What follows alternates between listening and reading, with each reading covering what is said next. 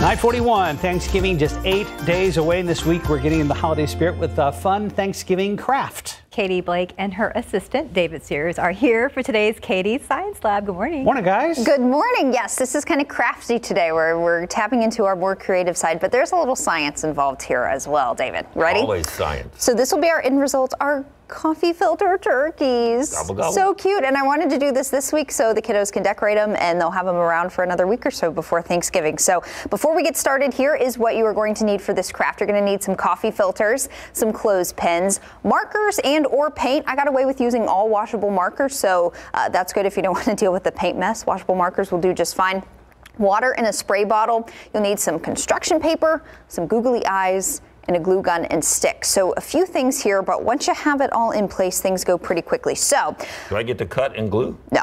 David, David really wanted to plug in the glue gun. I'm sorry, it's, it has to heat up and then it could drip and the other things. So I miss one week and I get punished. I don't get to play with the toys. So yeah, that's pretty much how it worked out. Sorry. Um, yeah, so since we're dealing with a glue gun, the scissors, adult supervision is a good idea for this one. So um, the whole sciency idea of this experiment has to do with solubility. Do you know what that is, David? Solubility. Solubility. What is it, Kaiti? That is the ability for something to dissolve in a liquid like water. In this case, we're going to use water. So we're going Okay. to test the solubility of two different types of markers. So that's how I want to start, David. So I'm going to draw you an orange line here with our washable Crayola markers with our orange one, and then we're going to use a Sharpie over here.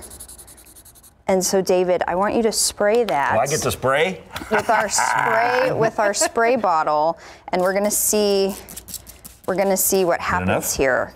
I think so. Can we get kind of kind of see what's happening Oh, there? yeah. We've got the the orange, the washable is starting to kind of spread out a little bit and get kind of get kind of fuzzy there, but our Sharpie marker is holding pretty strong. It's not running. Yeah, now you can really kind of see that as as some time goes by. Good job, David. So the reason for that is because the ink in the Crayola washable markers is soluble in water, but the ink in the Sharpie permanent marker is not. So mm. that's why it's not running in the water. So there you go. We are going to use the washable markers that are soluble in water for our craft. So David, I want you to decorate.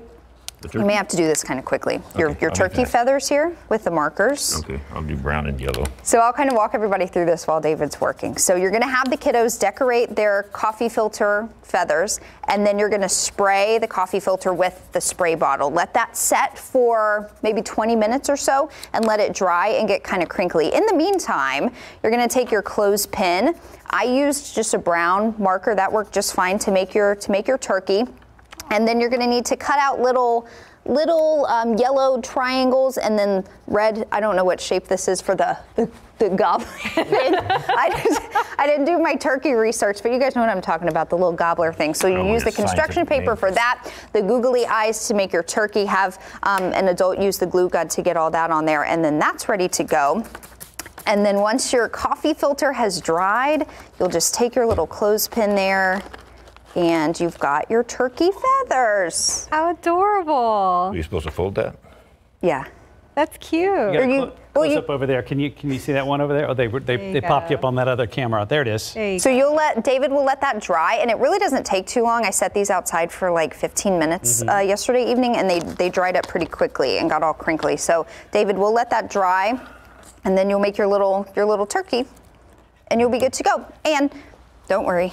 I have I have more. Steph, I made one for Rooney. Oh, thank Justin, you. I made two for your girls, and thank then you very and then. Mark, I have one for you too. Oh, that's super thanks, cool. But these are super cute. I hope the kiddos have fun. If you guys make these at home, please send me your pictures or videos. We'd love to see it. And what would the, Thank the glue gun have been for? It would have been to put the eyes eyes. Oh, and on the, and the beak. on the clothespin. And the beak. right? yes, yes. Yeah. Gotcha. Well, you know, it- it's on a clothespin, so we can like hang it up maybe like on a string. Yeah, good decoration. idea. Decoration, yeah. It's, it's still wet. That's why it's flopping over, David. Right. Yeah. So We'll let it dry. Good job. Mm-hmm. That's awesome. Rudy's Next gonna week be I so get to cut something.